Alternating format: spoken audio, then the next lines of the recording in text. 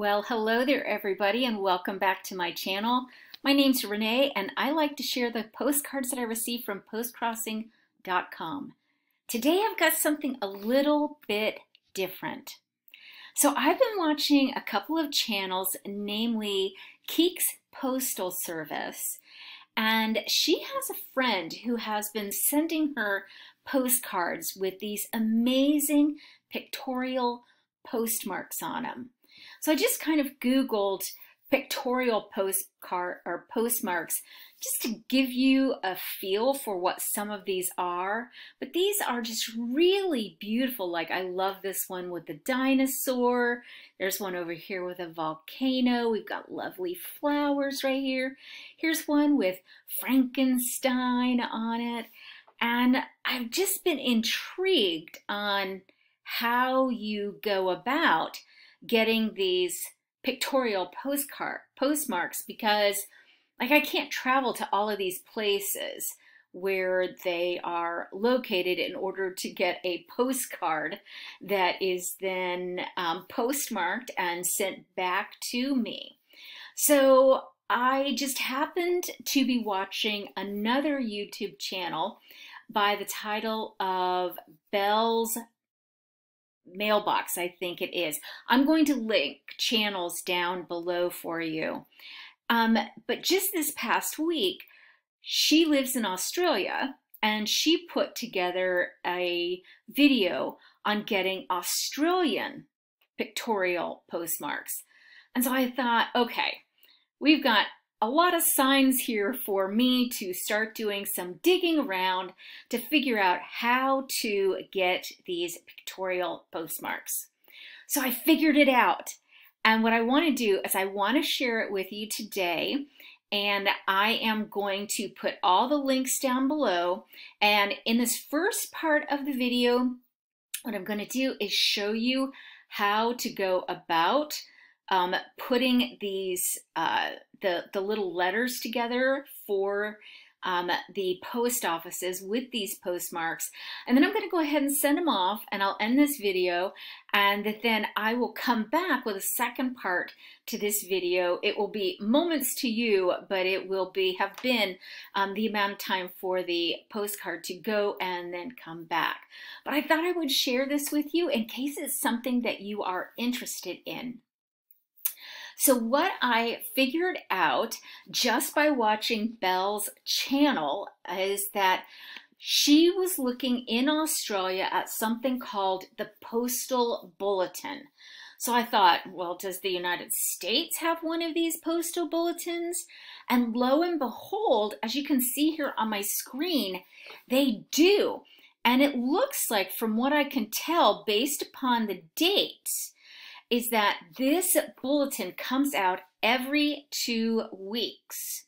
So what I did for today's video was I of course went to the year 2023 and I went to the latest issue here, which is issue 22634 that was put out on October 5th. The date that I am recording this is October 14th, okay? And so what I did was I just clicked down here onto the PDF.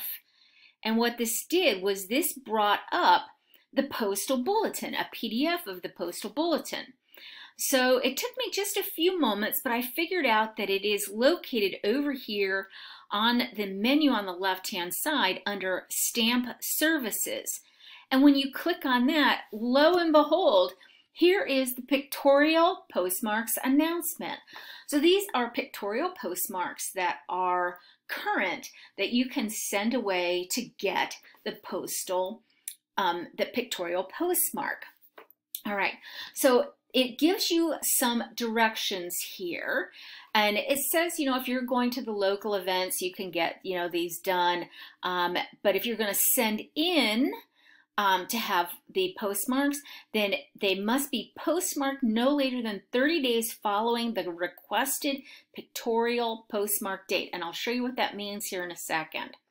But the other thing that I noticed is that over here it says customers wishing to obtain a postmark must affix stamps to any envelope or postcard of their choice, address it the envelope or postcard to themselves or others, insert a card or post a card of postcard thickness in envelopes for sturdiness and tuck in the flap.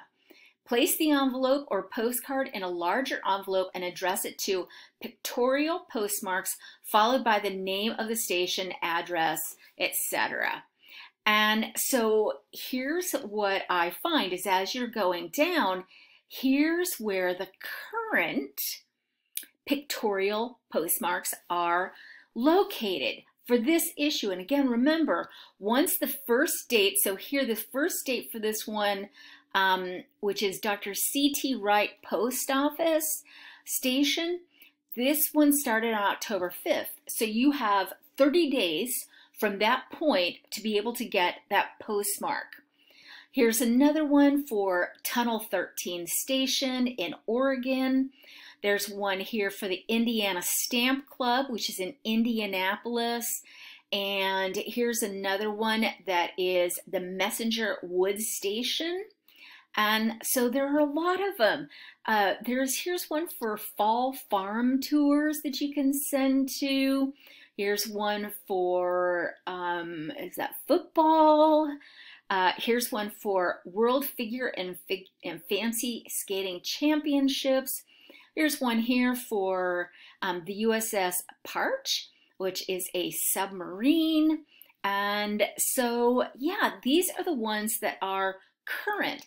But I also want to show you that some of the other ones can also be good as well. So let me move this real quick. See if I can get back a page. Nope, it won't let me. I am, oh, there we go. Yeah, okay, so I could also go, if we stay in 2023, I think I still have enough time to be able to do this one on September 21st.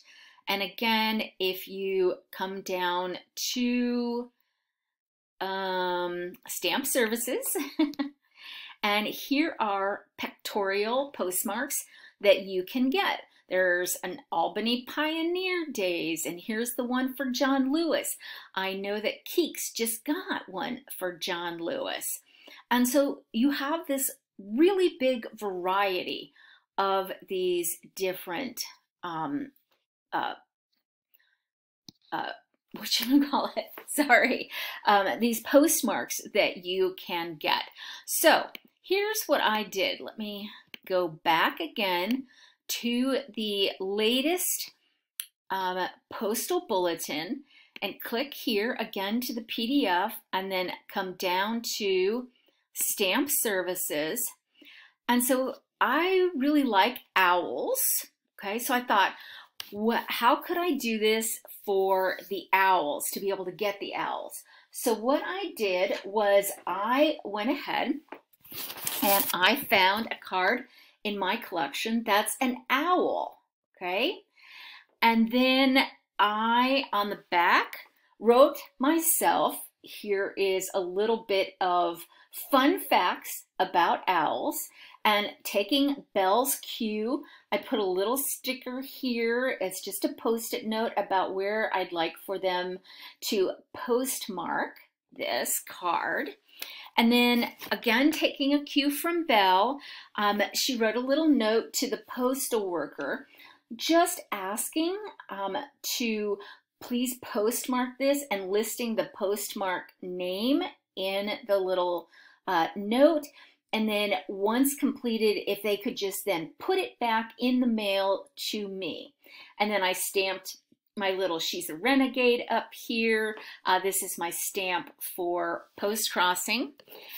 And then the other thing that I did was to write up the envelope with the address that you see here on the screen and of course stamped it with a U.S. Uh, Forever stamp to put it in the mail.